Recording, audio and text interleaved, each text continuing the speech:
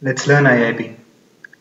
Today I will show you how to configure ODBC link from Oracle database to IIB on Linux environment.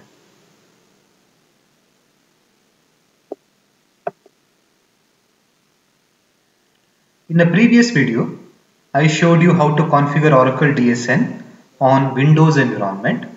Link in description. Windows is easy for many as you have used that operating system every day.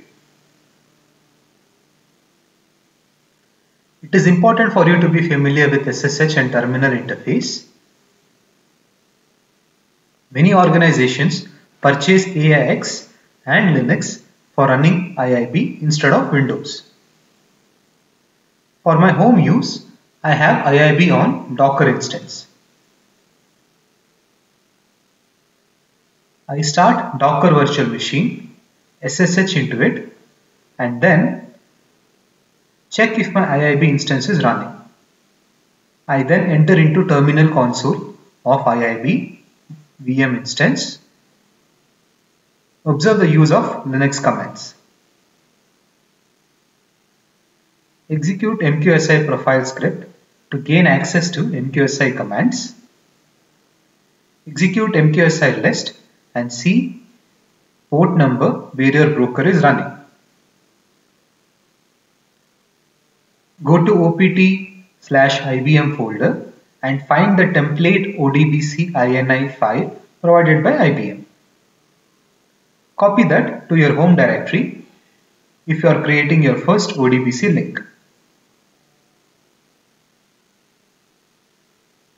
Execute edit, vi, pg or any other file commands to view and edit the contents. Here it shows you the placeholder for port number, host name and service name. Fill them. Use the environment variable ODBCINI to inform IIB where to look up data source names. Then use MQSI setDB params to associate data source name to IIB by providing username and password.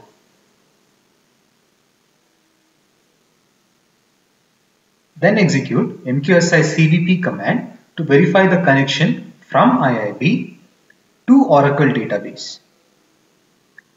You have to install Oracle drivers on IIB box before you execute MQSI CVP.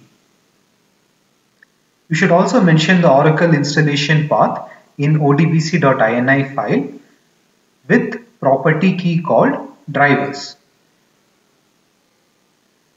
I will not be installing drivers today as it will take too much of my time.